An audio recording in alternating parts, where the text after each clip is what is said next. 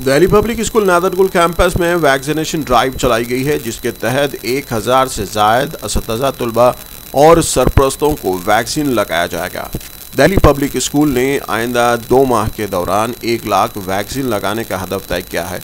इसके अलावा स्कूल इंतजामिया ने स्टूडेंट्स में बाकायदा वैक्सीन से मुतल मुहिम चलाने का भी ऐलान किया है, ताकि वैक्सीन की अहमियत व इफादियत को उजागर कर सके।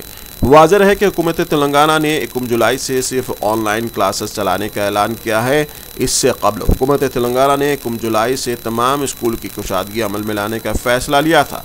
लेकिन कोरोना वायरस की मुमकिन तीसरी लहर के पेश नज़र ऑनलाइन क्लासेस का सिलसिला हनूस जारी रखने से इतफाक़ किया है।